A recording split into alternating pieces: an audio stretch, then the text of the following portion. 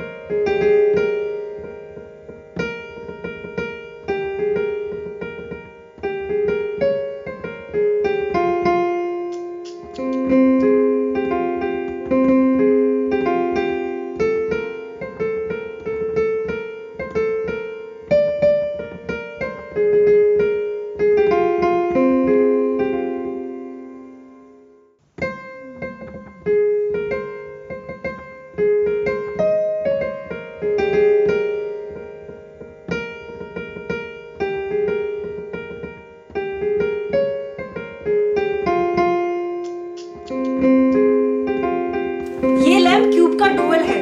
इसका मतलब ये है कि क्यूब के अगर हम स्क्वायर फेसेस के मिड पॉइंट्स को मिला दें तो हमें ये ओक्टाहेड्रन के वर्टेक्स मिल जाते हैं, ये कोने मिल जाते हैं। और जो क्यूब के कोने हैं, वहाँ पे हमें फेसेस मिल जाते हैं। तो क्यूब के आठ कोने हैं तो आठ फेसेस हमें इसके अंदर मिलते हैं। वो हम इसमें भी देख सकते हैं।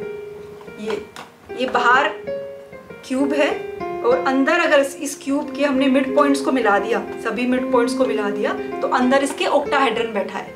और अगर हम ओक्टा के मिड पॉइंट्स को मिला दें, ये ओक्टाहेड्रन का एक साइड है, इसके अगर मिड पॉइंट्स को मिला देंगे तो अंदर इसके क्यूब बैठा हुआ है।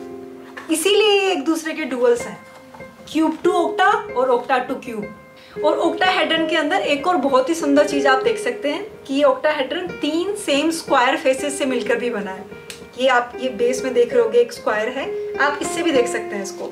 ये एक स्क्वायर ये है ब्लू कलर का, एक स्क्वायर ये पिंक कलर का और एक ब्राउन कलर का। तो ये तीन स्क्वायर फेसेस को अगर जोड़ दोगे तो ये हमें ओक्टाई मिल जाता है। ये ओक्टाहेड्रन एक प्लेटोनिक सॉलिड भी है। यानी इसके जो सारे फेसेस हैं, वो रेगुलर फेसेस है, सब सब इक्विलेटर ट्राइंगल्स हैं और हर कोना सेम है। हर जो वर्टेक्स है, वो सेम है। इसका मतलब ये है कि हर वर्टेक्स पे चार इक्विलेटर ट्राइंगल्स आके मिल रहे हैं। इस वर्टेक्स पे भी, इस पे भी, इस पे भी। तो हमने एक प्लेटोनिक सोलिड को इस तरह से काटा कि हमें दूसरा प्लेटोनिक सोलिड मिल गया। है ना गजब की बात?